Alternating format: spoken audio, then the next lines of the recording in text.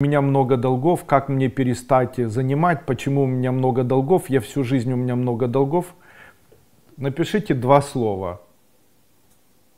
Напишите два слова. Ложь и дальше поставьте тире, напишите долг. И помните об этом. Если вы не руководитель страны, даже не так. Даже руководитель страны, который врет, будет обязательно вся страна кому-нибудь должна.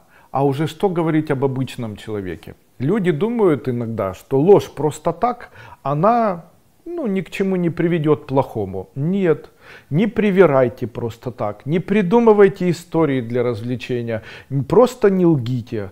Лучше промолчать. Лучше сказать «я не знаю», лучше показаться некомпетентным, но не врите. Любое, любое вранье, любая ложь приводит к двум факторам. Это к депрессии и к тупикам. Тупик жизненный связан с тем, что у человека появляются долги. Тупик чувственный связан с тем, что появляется депрессия. То есть, как бы человек не врал, рано или поздно это приведет к долгам. Поэтому лучше не врите, говорите как есть. Или, а как же сделать, если уже соврали?